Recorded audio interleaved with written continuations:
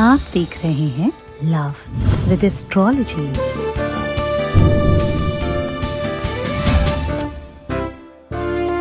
कहते हैं कि अच्छे मोबाइल में अच्छी फ़ोटो आती है।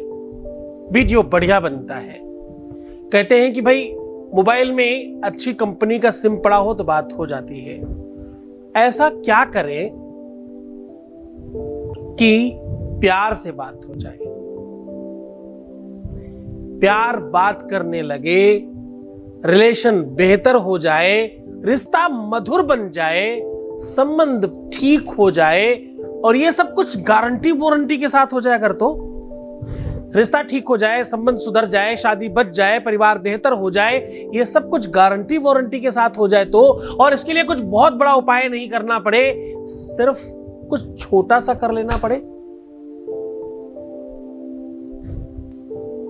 आपको अपनी पॉकेट में, यानी दिल के पास ये सामान रख लेना है। सामान आप अपने दिल के पास रखेंगे, अपनी पॉकेट में रखेंगे, असर उधर होगा।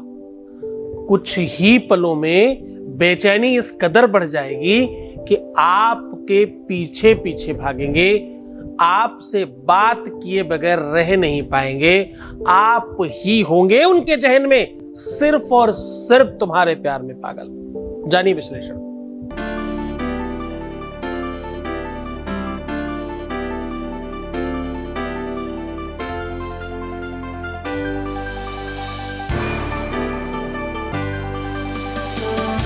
आप देख रहे हैं लव विद एस्ट्रोलॉजी नमस्कार, मैं हूँ आचार्य सतीश अवस्थी, आपका बहुत स्वागत करता हूँ लव विद एस्ट्रोलॉजी में। लव विद एस्ट्रोलॉजी में आपके अपने जीवन को सर्वश्रेष्ठ किया जाता है। प्यार भरा जाता है, रिश्तों को मधुर बनाया जाता है, संबंधों को ठीक किया जाता है, शादीशुदा लाइफ को अच्छा किया जाता है, पारिवारिक व्यवस्थाओं को मज़बूत कर आपको नवीन रास्ते बताए जाते हैं। यहाँ पर शादी के पहले और शादी के बाद की हर समस्या का समाधान किया जाता है। आपको जिताया जाता है रिश्तों में। टूटे हुए, बिछड़े हुए दिलों को जोड़ा जाता है। जो रिश्ते पूरी तरह से बर्बाद हो चुके थे, खत्म हो चुके थे, नष्ट हो चुके थे, उनको रिपेयर करके आपके अनुकूल बनाया जाता है। इन सब चीज़ों को करने, जहाँ किया जाता है, उस संस्थान का नाम लविद एस्ट्रोलॉजी है। यहाँ गीता, वेद, पुराण, शास्त्रों, उपनिषदों का सार बताया जाता है। बड़े बड़े ग्रंथों की निचोड़ कर बातें छोटे छोटे रूप में आपके सामने परोसी जाती है। जो शास्त्रों में ऋषि मुनियों ने गंभीर बातें लिखी हैं, उसको सहजता से आपके सामने परोस दिया जाता है। यहाँ पर जो लोग ठीक हो चुके हैं, उनकी संख्या इक्कीस लाख के आसपास है। जितने लोग आते हैं, उसमें से पंचानबे प्लस परसेंट लोग ठीक हो जाते हैं। इंसान कभी भगवान नहीं बन सकता, पर प्रयत्न तो कर सकता है, कोशिशें तो कर सकता है। दुनिया के हर अस्पताल में कुछ परसेंट लोग हो सकता है अपना जीवन त्याग देते होंगे अपने जीवन को बचाने में अक्षम होते होंगे। लेकिन इस बात में कोई संदेह नहीं, हॉस्पिटल्स में बहुत बड़ी संख्या में लोग ठीक भी तो होते इसी वजह से लोग भागते हैं हॉस्पिटल। खैर, आज मैं कह रहा हूँ कि पॉकेट में ये वस्तु रखनी है। पॉकेट आपके लेफ़्ट साइड में होता है, दिल की जगह पर होता है। पॉकेट यहाँ बनाने के पीछे पूरा का पूरा तिलिश्म है। उन सब तिलिश्म की बातें हम फिर कभी कर लेंगे। आज तो हम कह रहे हैं कि भाई दिल के पास ये वस्तु रखो, अपने पॉकेट में ये वस्तु रखो। ऐसा करने से उधर दिल में घंटी बजेगी और कुछ क्षण के बाद तुम्हारे मोबाइल की भी घंटी बजेगी। ये सब कुछ कैसे होगा वो पूरा का पूरा विश्लेषण बता रहा हूँ। उसके पहले एक अनुभव प्राप्त कर लेते हैं। वॉइस मैसेज प्लीज़ गुरुजी आपको कोटि कोटि प्रणाम दिल से। मैं आपको आपकी पूरी टीम को धन्यवाद करना चाहती हूँ क्योंकि मेरी जो प्रॉब्लम थी मैं मैरिड हूँ लेकिन मैं किसी और से प्यार करती थी। उसके दिल में मेरे लिए पता नहीं पहले क्या चलता था, क्या नहीं बट अब आपके आशीर्वाद से उनके दिल में मेरी जगह बन गई है। बस गुरुजी, आपका आशीर्वाद हम पे यूँ ही बना रहे। हम आपको बस यही निवेदन करते हैं कि आप सदैव हमारे पर आशीर्वाद बनाए रखें। बहुत बहुत धन्यवाद, बहुत बहुत साधुवाद, बहुत आशीर्वाद। परमात्मा शिव आपको प्रसन्न करे आनंद करे, आपकी हर इच्छाओं की पूर्ति करे। पॉकेट ही क्यों चुनते हैं? और हाँ पॉकेट के पास मोबाइल मत रखना, कुछ गरीब गलत चीज़ें मत रखना, खराब चीज़ें मत रखना, ऐसा भी बोलते हैं लोग। क्यों? क्योंकि यहीं पर दिल के अंदर जाने का रास्ता है। कि एक ऐसा सेंसर है यहाँ पर, जो किसी भी चीज़ को जल्दी से खींच लेता है अपने अंदर। आपका जानकर बहुत अच्छा लगेगा, सबकॉन्शियस माइंड वर्क करता है। जो तुम सोचते हो, जिस प्रकार तुम चिंतन करते हो, जिस प्रकार से तुम्हारी सोचने की प्रणाली है, वैसा तुम्हारे साथ होने लगता है। ज़्यादातर उन लोगों को दुख ज़्यादा मिलता है, जो अपने को हमेशा दुखी महसूस कराते हैं। जो लोग अपने आप को बेचारा और जीनहीन पता नहीं दीनहीन क्या क्या अपने आप को महसूस कराने की कोशिश करते रहते हैं, दूसरों की नज़र में, वो इंसान हमेशा दुखी रहते हैं। क्यों? क्योंकि वो प्रकृति को आदेश दे रहे हैं कि मुझे ऐसा ही रहना है।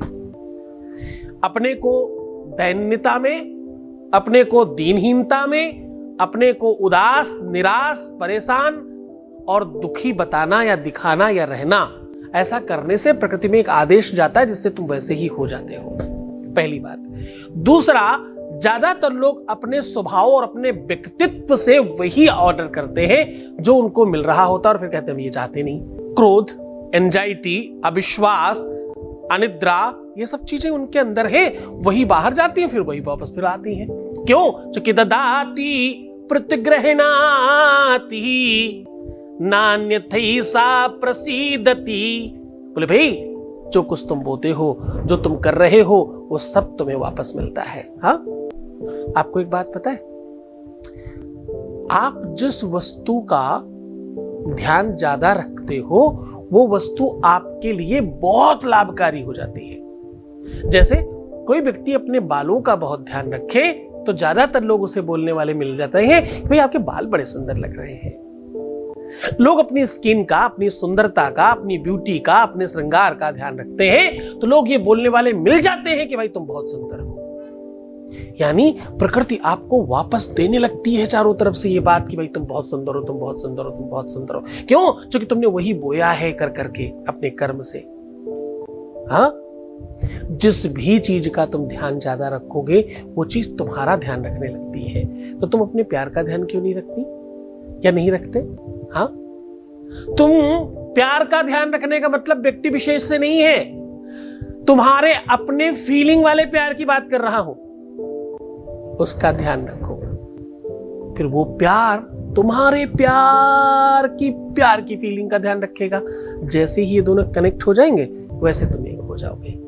ये तिलिस्म है वैसे। गंभीर बहुत नहीं है, बहुत गहरी बात नहीं है, लेकिन समझ जाए तो बहुत जल्दी से समझ आएगी। और जिसे नहीं समझ में आता, उसे तो कोई समझा सकता है। हा?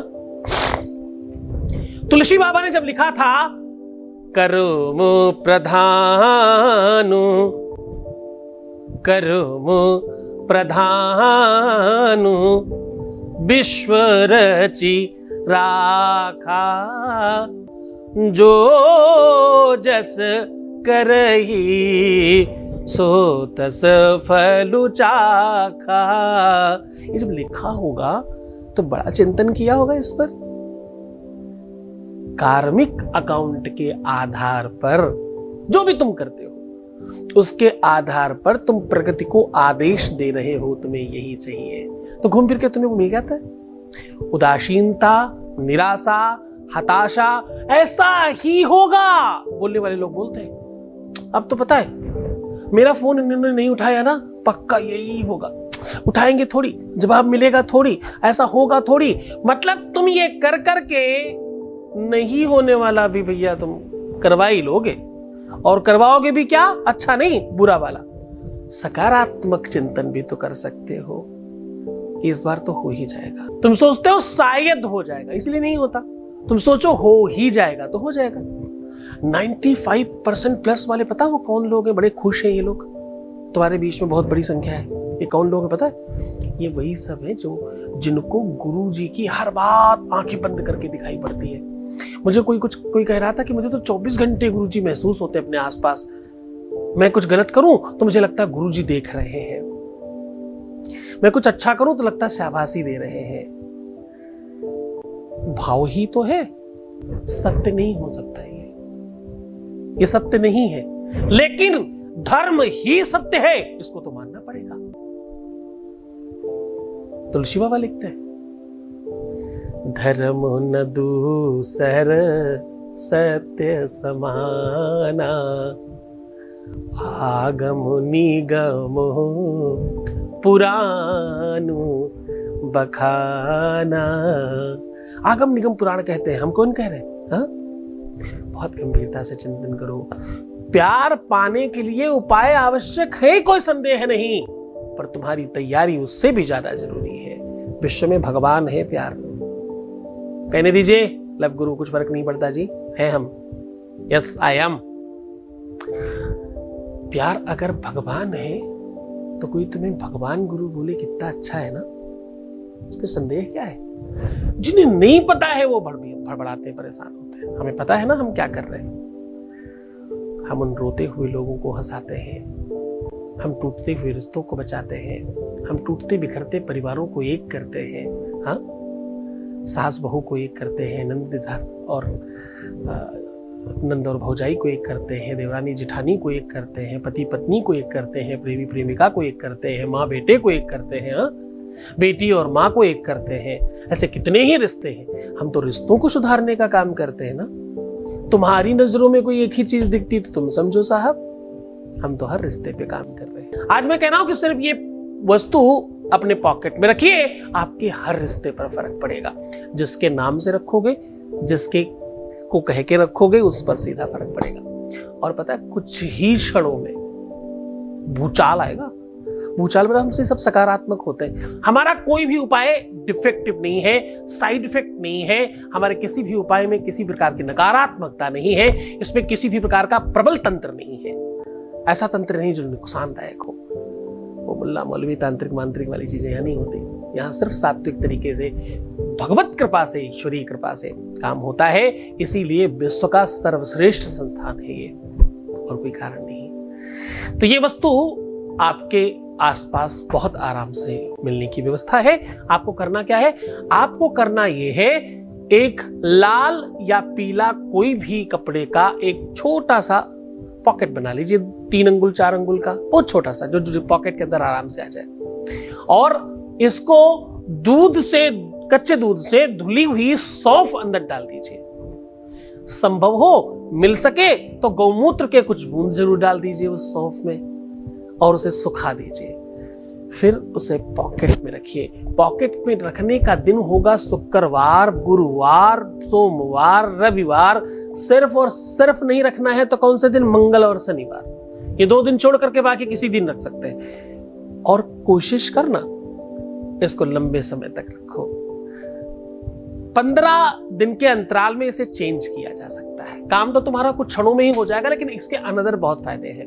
क्या क्या फ़ायदे? हेल्थ ठीक रहती है। हार्ट अटैक नहीं आता। दिल की बीमारियाँ नहीं होती। किसी भी प्रकार की हड्डियों की प्रॉब्लम नहीं होती। बुरी तरंगे आपके आसपास नहीं आती, चाहे मोबाइल की हो, चाहे कोई भी हो, कोई भी आप पर तंत्र मंत्र नहीं कर पाता।